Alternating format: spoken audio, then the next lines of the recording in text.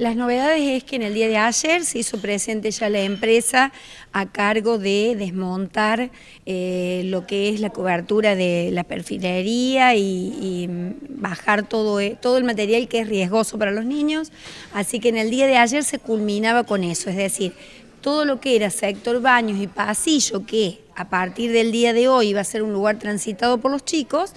ya estaba libre de riesgos. Eh, en el día de hoy se inicia la actividad en la misma escuela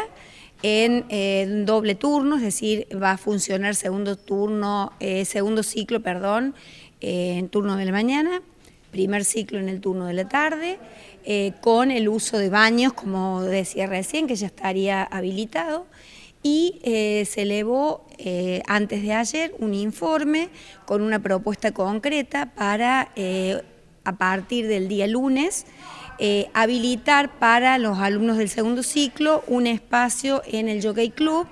que estuvimos eh, supervisando con em, la licencia de Longo, este, del área de educación de la municipalidad, eh, el jefe de gabinete y me pareció, es decir, hicimos un relevamiento y ofrece condiciones de seguridad, de higiene, ¿no? un lugar confortable para que los chicos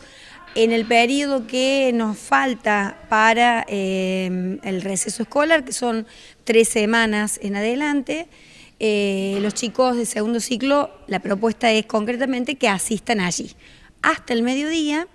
luego se trasladarían hasta a, comer al comedor de la escuela y proseguirían las dos horas restantes de lo que es jornada extendida, jornada ampliada. Estamos ahora a la espera